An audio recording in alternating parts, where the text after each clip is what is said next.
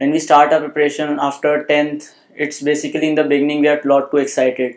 And the major problem with uh, which happens i guess is that uh, in the beginning since we are too much excited we plan a lot of things that uh, teachers tell us this but we try and do a lot more things. Initially since we are like it's just the beginning and the things are less to do it is easier and we can do like mul- follow multiple books. But later on when slowly and gradually things get more uh, dense and like we have more lot more chapters to do the, from the beginning then uh, since our plans don't go well we get depressed and all that. But that's the most important thing. You have to keep your focus and uh, don't get depressed. Like it's not actually necessary to do everything. What most important is that you follow your notes and listen to your teachers.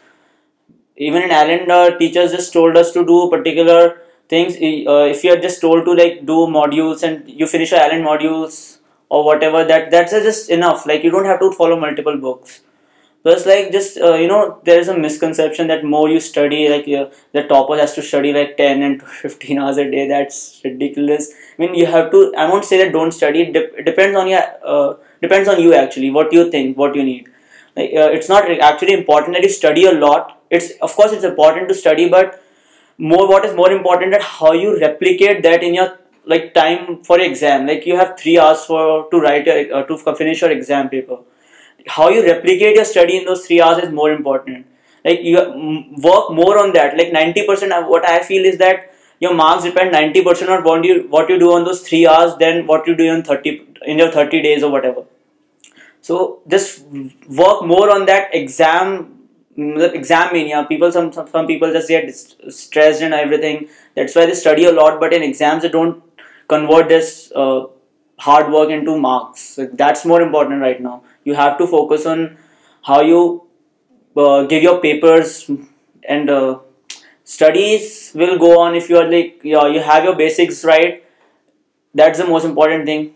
That's enough. You don't have to like follow as too many books and everything making a timetable is of course beneficial but i personally didn't actually make any timetable or something i just studied whenever i wished to like i wanted to study and everything but I always like worked upon my confidence. Like I should never lose my confidence in something.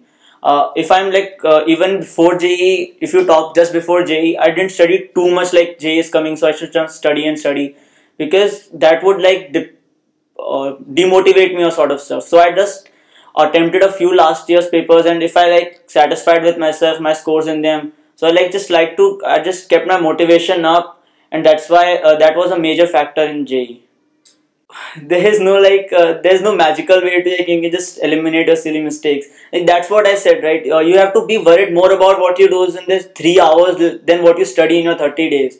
I, I just said that in the same beginning. You have to work more on how you do your paper. So you have to just focus and like uh, i guess uh, i you know whenever i had an exam i used to eat less because i felt that i I give better like whenever I eat too much I can't give concentrate more. So like you have to understand it your own way like what's good for you. When you give your three hour uh, paper then you have to be like focusing on a paper so you should not have any uh, distraction or something. If you feel like uh, this is uh, doing this will be better then you should just follow that. As well as theory part is concerned mainly I used to rely on my class notes and whatever is taught in the class. Very less like I, I used I studied very less books but I uh, focus more on question solving only. My parents uh, the best thing is that uh, my parents never you know indulged uh, like uh, they tried to too much interfere with my studies. Uh, like i i did what i when if you are doing good and you know what you want then parents uh, help you that's true but they should man, it should not be like they are controlling everything what you do. You you you have to do something it should be by own will. So like your preparation should be more self-controlled and parents should just be there to back you up not to plan your things. One most important point is just what i said earlier that work on your phys- physical uh, situation at that point. Like if you're mentally focused at that point so like i told you like whenever i have had an exam i used to eat less. I don't eat much. I go almost empty stomach. That's because i felt that it's better for me. So you have to just you you'll come to know in the course of two years. So you have to work upon these things too. Don't ignore these things. Plus uh, uh, I just felt like my paper one went bad. Um, there's no such shortcut. You have to analyze this yourself. But what I felt like my paper one went bad, so I just started paper two more rigorously and more like I did it more, much faster because I knew it, was tough. So that's why uh, since the paper one was tough, I started paper two much faster so that I could complete it better. So yeah, it went comparatively better than paper one.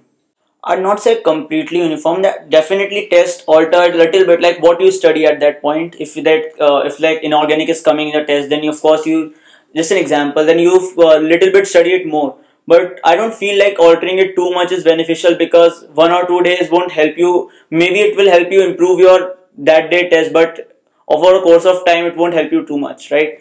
Plus, what you study in a course of time matters more. Last day study is not that effectiveness.